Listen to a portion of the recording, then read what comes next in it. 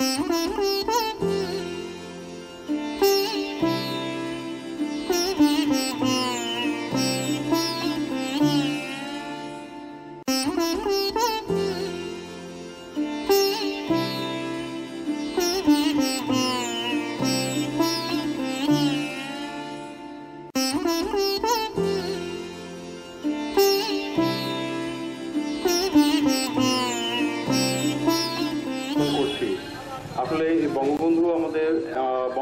নাম নয়, এটা একটি চিন্তাধারা, একটি চিন্তা চেতনা যার চিন্তাধারা এবং এই চেতনা আজকে বাংলাদেশকে সোনার বাংলায় পরিণত করেছে এবং এই তার কারণেই আজকে আমরা উন্নত বিশ্বের কাছে মাথা উঁচু করে একটি স্বাধীন রাষ্ট্র হিসেবে নিজেদেরকে প্রমাণ করতে পারছি এবং চলতে পারছি। তো আমরা তাদের প্রতি অশেষ অশেষ শ্রদ্ধা নিবেদন করছি। এবং আমার মনে হয় বঙ্গবন্ধু আমাদের যেভাবে চিন্তা করে গিয়েছেন আজকে এই যার আমরা সোনার বাংলা পেয়েছি, আমাদেরকে ঠিক সেই ধারা অব্যাহত রেখে কাজ করতে হবে যাতে করে আমরা মানুষের জন্য কিছু করতে পারি, দেশকে উন্নতি, উন্নতির পথে নিয়ে যেতে পারি। আর দেশ উন্নতির পথে গেলেই আমরা একটু নতুন জাতি হিসেবে আরও বেশি নিজেদেরকে গর্বিত করতে পারব। আর উল্লেখ্য যে এটা বলা যায় আমরা দেখি আসলে প্রত্যেকটা স্কুল, কলেজ, মসজিদ, মাদ্রাসাগুলোতে দেখা যায় জাতীয় সংগীত জাতীয় সংগীত জ্ঞাপন করা হয়। তো আমরা এই জাতীয় সঙ্গীতের জাতীয় সঙ্গীতের পাশাপাশি যদি আমার কাছে মনে হয় এটা, যে যদি এখানে একটা বঙ্গবন্ধু নিয়ে একটা ক্লাস করা যেত, তাহলে আমার মনে খুবই ভালো হতো। তাহলে সবার একটা ধারণাটা চেঞ্জ হতো।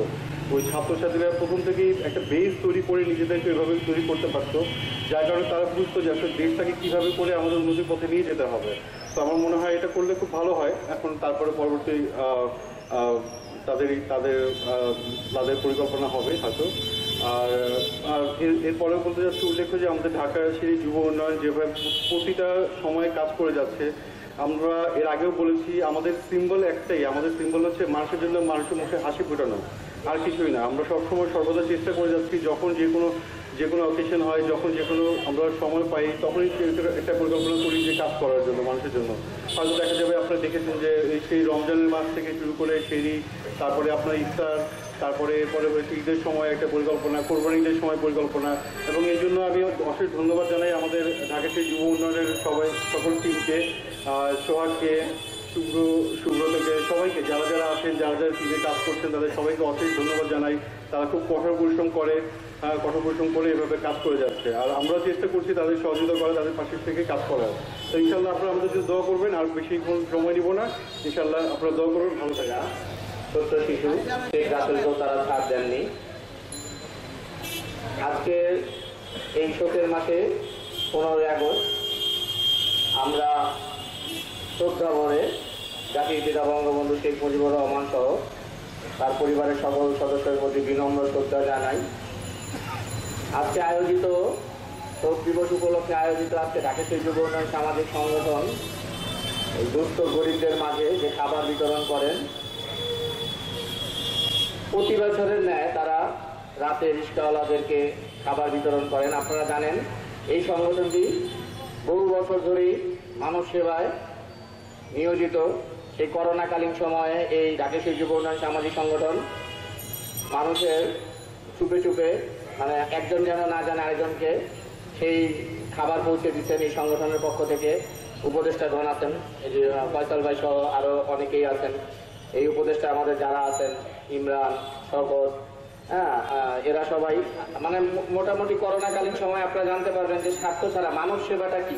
এই সংগঠন দিকে আপনারা একটু খেয়াল করলে দেখবেন যে প্রতিনিয়ত সমাজ সেবায় যারা আছেন ভাই, আপনারা দয়া করে ডান দিকে সিরিয়ালটা ধরেন।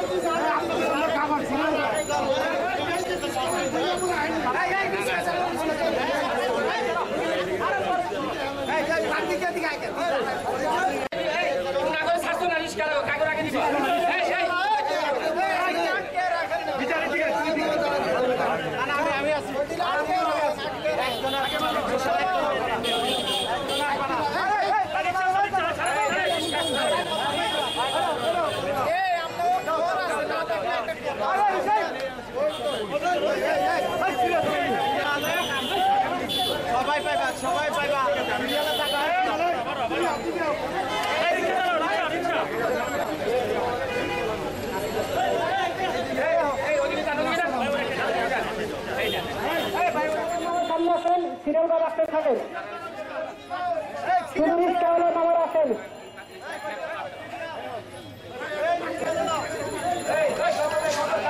এক সিরিয়ালে আসেন মামা, জাম করেন না রিক্সাওয়ালা মামারা এক সিরিয়ালে আসেন